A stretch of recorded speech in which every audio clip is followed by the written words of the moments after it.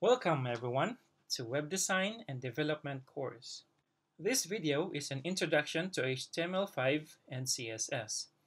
Here you'll see the source and reference for this video. I hope you'll be able to follow along this web design course. Coming up next are the prerequisites in this lesson. We have the MAMP server, Apache server, Sublime Text Editor, localhost 8888, and htdocs folder. These applications and folders should be active in your machine at the background. As you watch this video, please bear in mind about our ESLRs. And these are right thought, right communication, right attitude, right conduct, and right lifestyle.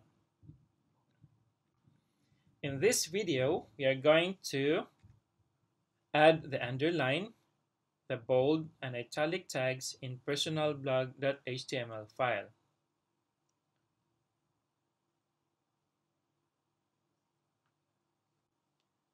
So I'll show you the prerequisites in the next slides to be able to add underline, bold, and italic tags to your personal blog.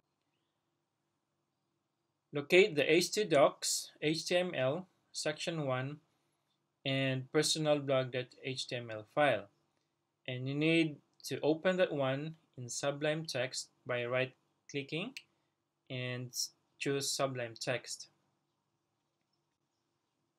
The guidelines for adding underline, bold, and italic tags is posted in Google Classroom.